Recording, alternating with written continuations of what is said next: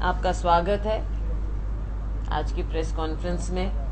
सबसे पहले मैं मीडिया के साथियों का धन्यवाद करना चाहूँगी इस चुनाव में, जहाँ हमारे लिए तो पार्टियों के लिए पॉलिटिकल लोगों के लिए तो ज़्यादा एक्टिव होता ही है, लेकिन हमारे साथ साथ जो हमारे मीडिया के साथी हैं, उनके लिए भी बहुत ग्रूलिंग रहा। बहुत आप लोगों को भी मशक्क़त करनी पड़ी जगह जगह रिपोर्टिंग के लिए। कोशिश की आप लोगों ने भी फीडबैक लेने की। तो आपका मैं धन्यवाद करती हूँ कि आपका जो सहयोग हमें इस चुनाव के दौरान मिला है। वी आर ग्रेटफुल अब साथियों, कल मतदान हो चुका और मतदान के और काउंटिंग के बीच में स्पेकुलेशन चलती रहेगी। क्योंकि इलेक्ट्रॉनिक मीडिया का काफ़ी रोल होता है सोशल मीडिया का। और इलेक्ट्रॉनिक मीडिया को दो दिन कुछ ना कुछ दिखाते रहना पड़ेगा। तो वो भी एक हिस्सा है इस पूरे प्रोसेस का। वो अपनी जगह है और वो चलेगा। मैं सिर्फ़ इतना कहना चाहूँगी कि कांग्रेस पार्टी ने चुनाव लड़ा, एकजुट होकर चुनाव लड़ा। हमारे कार्यकर्ताओं ने बड़ी मेहनत की है। हमारे कैंडिडेट्स ने। सबने मेहनत की है। और आप ये बात को समझेंगे कि जो लोकसभा का चुनाव था। तब से अब तक चंद महीनों में उस समय भारतीय जनता पार्टी ने 10 की 10 सीटें जीती, बहुत भारी मार्जिन से जीती। और अगर उस समय का विश्लेषण देखें हम तो 90 में से उन्होंने 79 सीटों पर बढ़त हासिल की थी लोकसभा चुनाव के समय। और तब से अब तक आप ये भी बात मानेंगे कि इन्होंने नारा दिया, पचहत्तर पार, ये चाहते तो अस्सी पार दे सकते थे, लेकिन इन्हें समझ आ गई थी जहाँ एक और कि वो लेवल नहीं रहेगा इनका। दूसरी ओर बढ़ चढ़ कर इन्होंने पचहत्तर कहा। तो कहीं ना कहीं ये इस बात को भी समझ गए थे कि जो हरियाणा की स्थिति है, वो बदल चुकी है।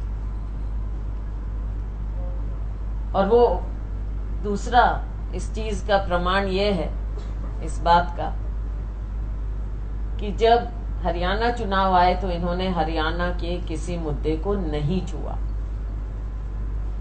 वरना पाँच साल की अचीवमेंट्स को, उपलब्धियों का ये ब्यौरा देकर अपना चुनाव लड़ते और कॉन्फिडेंस से लड़ते। वो कॉन्फिडेंस भी नहीं देखा, ना मुद्दे हमें नज़र आए हरियाणा के। इन्होंने अपना शीर्ष नेतृत्व माननीय प्रधानमंत्री जी से लेकर सभी को हरियाणा में उतारा। इन्हें ना तो हरियाणा में अपने काम पर विश्वास था, ना इन्हें अपने हरियाणा के नेतृत्व पर विश्वास था। इसलिए ये केंद्र से नेताओं को भी लाए। बहुत ज़्यादा तादाद में। खुद प्रधानमंत्री जी भी आए। और दूसरी ओर जो मुद्दे थे, वो भी मुद्दे इन्होंने ऐसे दिए, चाहे 370 दिया हो, चाहे एनआरसी लाने, लाए हो। मुद्दे भी ये ऐसे लाए ताकि हरियाणा के लोगों का ध्यान ये बांट सके, डाइवर्ट कर सके। तो इन सब बातों से ये साफ़ ज़ाहिर होता है कि इन्हें अपने आप पर कॉन्फिडेंस नहीं। इन्होंने कोई काम नहीं किया जिसके बूते पर ये वोट मांग सकते तो अपने काम पर कॉन्फिडेंस नहीं था। अपने नेतृत्व पर कॉन्फिडेंस नहीं था, मुद्दों पर कॉन्फिडेंस नहीं था, हरियाणा के लोगों पर कॉन्फिडेंस नहीं था। तो ये सारी बातें साफ़ ज़ाहिर हो गई हैं इस चुनाव रही बात कांग्रेस पार्टी कांग्रेस पार्टी ने, आप जानते हैं, सभी हमारी इलेक्शन गोइंग स्टेट्स में बदलाव हुआ ऑर्गेनाइजेशन के लेवल पर। हरियाणा में भी हुआ। हरियाणा में बदलाव होने के बाद काम हमारा चलता रहा और सभी लोगों ने हमारे सभी नेताओं ने, कार्यकर्ताओं ने मिलकर ये चुनाव लड़ा है।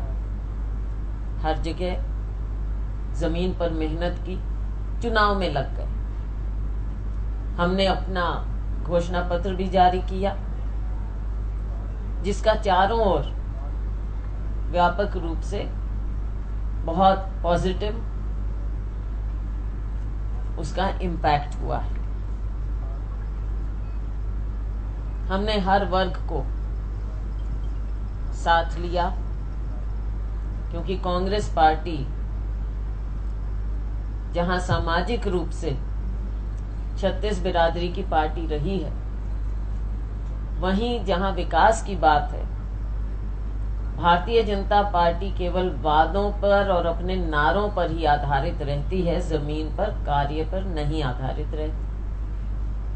और कांग्रेस पार्टी सबको साथ लेकर चलती है सामाजिक रूप से और जहाँ तक कि विकास की बात है, हर वर्ग का हमने ध्यान रखा। तो उसका भी एक अच्छा इम्पैक्ट जैसा मैंने कहा अच्छा इम्पैक्ट उसका हुआ। समय साथियों, कम होता ही है चुनाव में। पंद्रह बीस दिन मैक्सिमम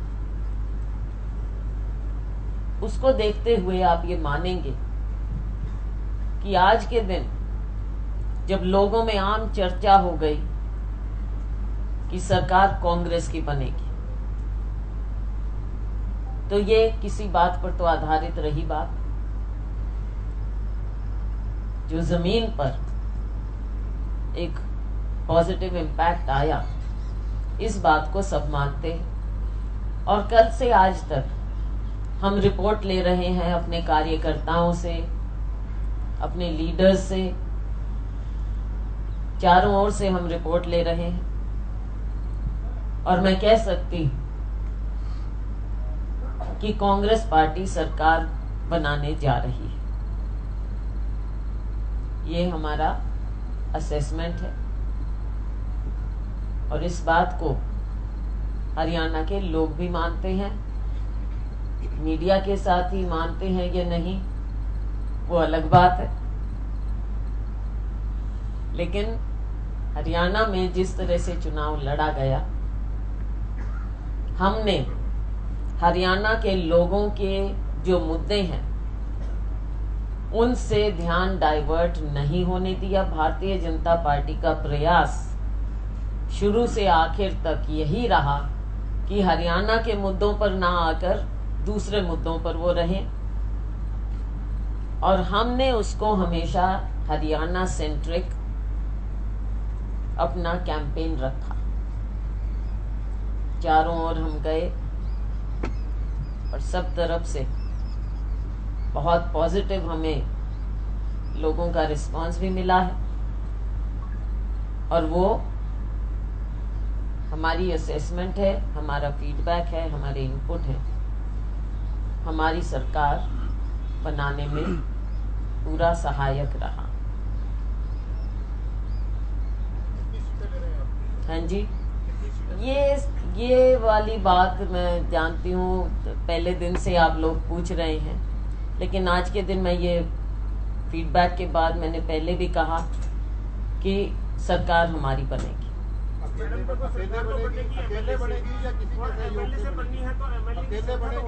हाँ जी।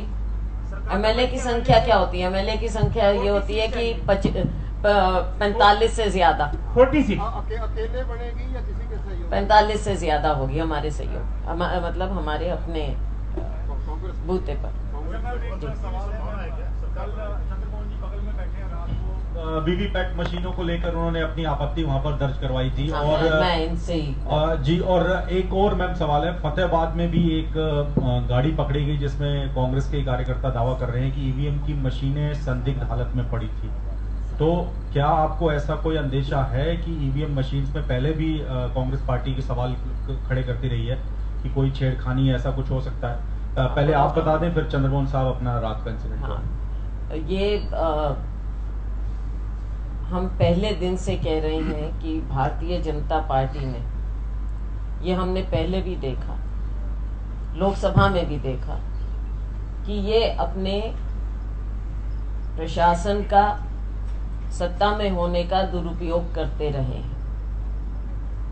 किया है अब भी कर रहे हैं जगह जगह से हमें जो इस तरह की कंप्लेंट्स आई हैं।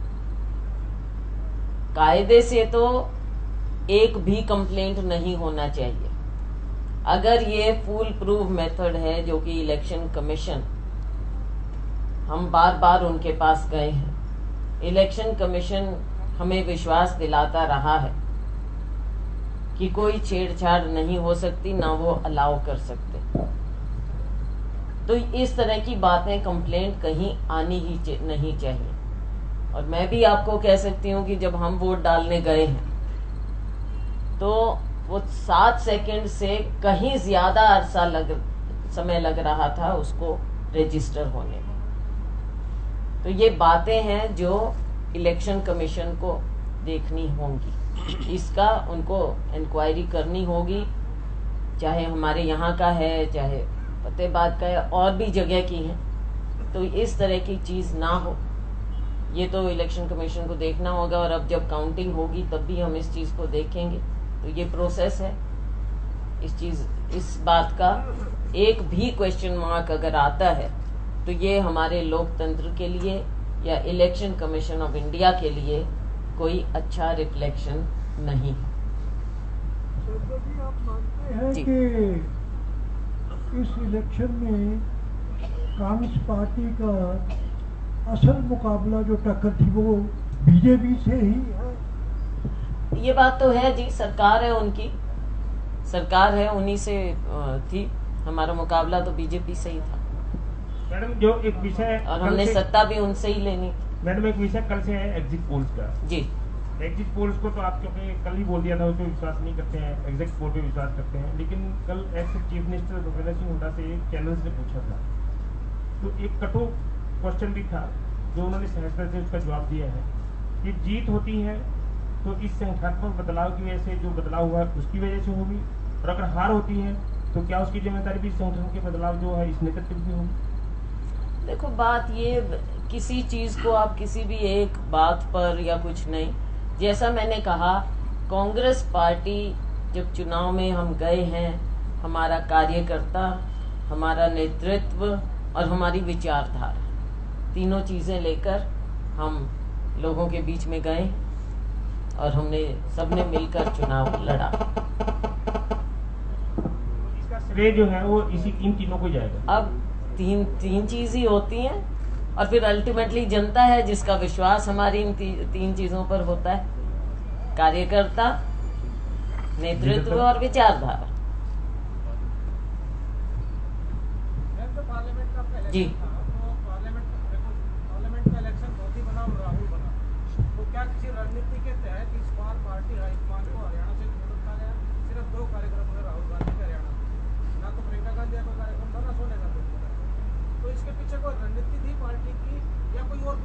नहीं नहीं, ऐसा, ऐसी कोई बात नहीं है। चुनाव में सोनिया जी ने आना था, लेकिन उनकी तबीयत खराब होने के कारण वो नहीं आ पाए। और राहुल जी अपने आप पर, अपने आप भी आए और एक जगह जहाँ मैडम की तबीयत ठीक नहीं थी तो हमने रिक्वेस्ट किया कि राहुल जी आए तो उसमें राहुल जी आए थे। और बाकी हमारे दूसरे नेता भी आए हैं।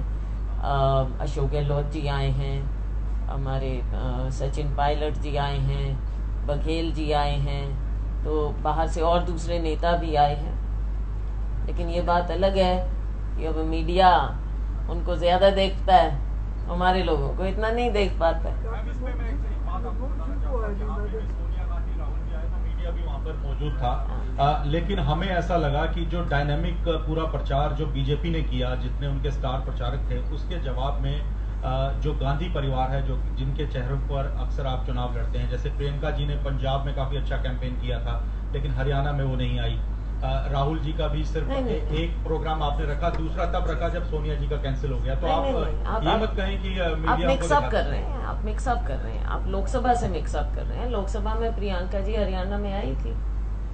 आप लोकसभा से मत मिक्सअप कीजिए तो असेंबली की बात कर आप आपको लगता नहीं कि डायनामिक और प्रचार किया जा सकता था? प्रियंका गांधी एक अच्छी क्राउड पुलर हैं और ये ये ये सब चीज़ें हैं। We are proud of Priyanka ji. लेकिन जिस तरह से वर्कआउट हुआ वो इसी तरह से वर्कआउट हुआ। उसमें कोई ऐसी बात नहीं होती कि भाई ए या बी या सी हमारा शीर्ष नेतृत्व है हमारे फॉर्मर प्रेसिडेंट और प्रेजेंट जो प्रेसिडेंट हैं सोनिया जी इन दोनों का मेन था। जो ये आपके केंद्रीय नेता थे यहाँ प्रेस कॉन्फ्रेंस करने ज़्यादा आए फ़ील्ड में कम गए। नहीं प्रेस तो करनी होती है। ये तो आप लोग भी मानते हैं कि दूसरी पार्टियों के तो खाली पड़े थे उन्होंने प्रेस का कुछ प्रेस को कुछ संदेश देना ही नहीं चाहा दूसरी पार्टियों ने। लेकिन हम सोचते हैं कि आपका बड़ा स्ट्रॉन्ग पिलर होता है मीडिया का। बेशक आपकी जो ओनरशिप है वो ज़्यादा इन्फ्लुएंस बीजेपी से हो जाते हैं। लेकिन फिर भी हम समझते हैं कि मीडिया का एक बहुत बड़ा रोल होता है लोकतंत्र में। And we respect that madam- we respect that madam आपने क्योंकि फीडबैक के आधार पे तो दावा कर ही दिया कि 24 तारीख को कांग्रेस का जो फीडबैक है वो 45 प्लस आ रहा है और सरकार बनने जा रही है। तकनीकी जवाब वैसे हमें आपका मालूम है कि इसका जवाब आप क्या देंगे फिर भी हमें एक स्वाभाविक रूप से पूछना है कि जब सरकार बन ही रही है तो मुख्यमंत्री कौन बनेगा कुमारी शैलजा या भूपेंद्र सिंह हुड्डा? ये फैसला हाईकमांड हाईकमांड हाईकमांड फैसला करेंगे। गठबंधन की कोई ज़रूरत महसूस नहीं, आज के दिन लग नहीं रहा। हमको लग रहा है कि हम कर पाएँगे। देखो, इट्स एंड बट्स तो बहुत होते हैं ना, वो तो फिर सिचुएशन के हिसाब से होता है। लेकिन आज हमें लग रहा है कि हम खुद बना सकते मैम, जैसे पूर्व मुख्यमंत्री भूपेंद्र सिंह हुड्डा ने भी कहा था कि या तो बीजेपी को वोट दे दो या कांग्रेस को दे दो। जो कांग्रेस को नहीं देना चाहते, वो बीजेपी को दे दो। लेकिन दूसरी जो क्षेत्रीय दल की पार्टियाँ हैं, उनको वोट मत दो। तो आपके अनुसार यही लग रहा है कि या तो बीजेपी की सीटें आएँगी या कांग्रेस की सीटें आएँगी? क्षेत्रीय दलों का कोई वजूद नहीं। क्षेत्रीय दलों का अब हुड्डा साहब ने क्या कहा, उसका जवाब तो वो ही दे पाएँगे। I can not answer for him and I would not like to answer for him लेकिन मेरा अपना ये असेसमेंट है पॉलिटिकल असेसमेंट है, कि आज के दिन दो मेजर प्लेयर्स ही थे फ़ील्ड में, जो तीसरा प्लेयर है, ये तीसरा प्लेयर एक बहुत इन्फ्लुएंशियल प्लेयर था। पिछले चुनाव में 2014 में, तीसरा इन्फ्लुएंशियल प्लेयर था इनफैक्ट दूसरे नंबर पे रीजनल पार्टी थी, हरियाणा में, उस समय। लेकिन तब से अब तक हरियाणा में पॉलिटिकल स्थिति बहुत बदली है। और जो ये तीसरा रीजनल प्लेयर है, जो पहले सत्ता में भी रहे हैं, ये उसका बिखराव हो चुका है। बहुत ज़्यादा बिखराव हो चुका है उनकी अपनी पार्टी में भी और जनता में भी। तो आज के दिन मुझे नहीं लगता कि उनका इतना ज़्यादा राजनीतिक वजूद ज़मीन पर रहा। हाँ थोड़ा बहुत तो होता ही है, देखो, किसी भी पार्टी का। थोड़ा बहुत तो होगा, पॉकेट्स में होगा कहीं। वो अलग बात है। और उनमें भी दो फैक्शंस हैं। उनमें से कौन सा फैक्शन ज़्यादा नीचे कुछ अपनी दिखा पाएगा। वो तो इस चुनाव के नतीजों के बाद ही सभी असेसमेंट कर पाएँगे। जी आपको आपको क्या लगता है कि नेशनल इश्यूज़ आपको लगता है कि नेशनल इश्यूज़ को इलेक्शन में नहीं उठाना चाहिए? या आप किसी पार्टी को बता सकते हैं कि उसे कौन से इशू उठाना चाहिए या नहीं उठाना चाहिए? मैं तो ये कहूँगी कि जैसे विधानसभा का चुनाव है विधानसभा के चुनाव में राज्य की जनता ये उम्मीद रखती है अपनी पार्टियों से कि इस चुनाव में पार्टियाँ उन्हें बताएँ कि उनके लिए राज्य में क्या होगा, क्या पॉलिसीज़ फॉलो की जाएँगी, उनके लिए क्या किया जाएगा। तो राज्य के मुद्दे ज़्यादा अहमियत रखते हैं विधानसभा चुनाव में। लेकिन हमने देखा कि इस चुनाव में राज्य के मुद्दों को पूरी तरह से भारतीय जनता पार्टी ने दरकिनार किया। पाँच साल सरकार रहने के बाद ये कहीं ना कहीं इनकी अपनी तरफ़ से ये जो कमजोरियाँ रही या जो फेलियर रहा